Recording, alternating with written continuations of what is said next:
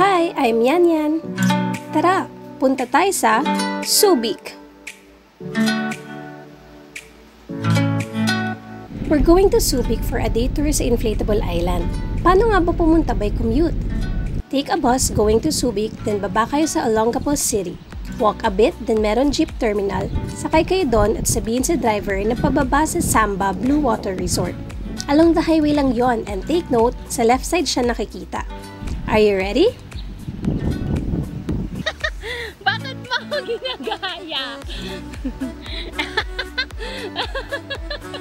Pagpasok nyo dito, you'll see this Samba sign. Then turn right and walk along this path hanggang marating nyo sa dulo with the sign Inflatable Island. Init, init, init. Matatanaw nyo na to from afar since kita na sa dagat yung inflatable and the famous Bali-inspired lounge. Nag-pre-book kami ng 2 hours play for the inflatable itself. May assigned time slot pero maaga kami dumating because we gotta chill all day. They're open from 8 a.m. to 5 p.m. and if you avail the inflatable package, it comes with full day access to this. The beach, the lounge, and lockers for your things. Sa sobrang init pag summer, mapapabili ka talaga ng ice cream. I created a separate vlog for the inflatable play. Click nyo lang yung video link sa description box if you wanna see the obstacles.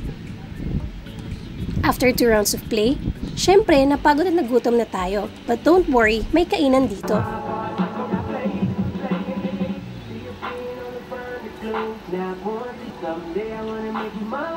Baka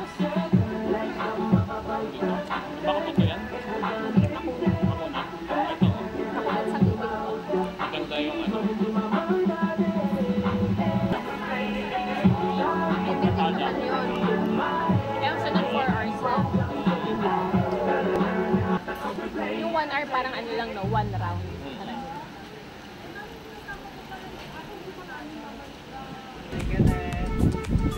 After playing and eating, sunset watching muna tayo till 5pm bago umalis. Hi! Ang sarap talaga ng hangin sa tabing dagat, no? O siya, bye-bye, Inflatable Island!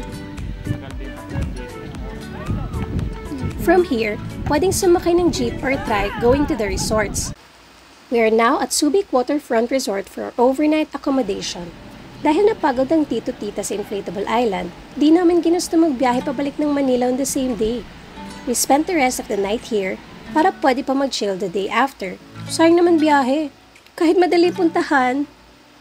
Good morning from a well-rested night. Masarap mag-swimming pool sa umaga. Although medyo crowded with kids dahil family-friendly itong resort with its ample parking space and almost all flat terrain. Pwedeng pwede sa mga kids and kayang-kaya din ng mga seniors. Tara, maglakad-lakad naman tayo sa tabing dagat. Enjoy!